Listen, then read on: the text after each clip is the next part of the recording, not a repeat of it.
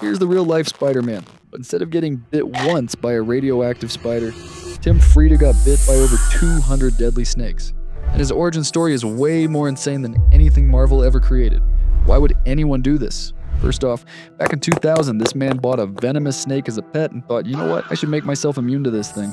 Started injecting snake venom into his own body like it's a daily vitamin, then collected over 60 deadly snakes in his basement, having a whole basement full of nightmare fuel. But his real Spider Man moment happened on September 12, 2001. Got drunk, got bit by an Egyptian cobra on his finger, and barely felt it because he's built different. And one hour later, a different cobra bit him in the bicep, this time completely paralyzed, rushed to the hospital.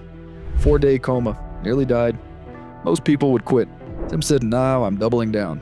Over the next 18 years, he injected himself with venom over 800 times and got bit around 200 more. Black mambas, taipans, rattlesnakes, every injection caused blackouts that almost killed him.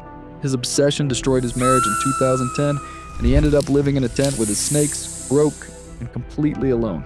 Then in 2017, an immunologist found his videos and realized Tim's blood contained antibodies that could neutralize venom from 13 of the world's deadliest snakes. Scientists tested it in 2025, and it actually works. Tim Friede's blood is about to save millions of real lives.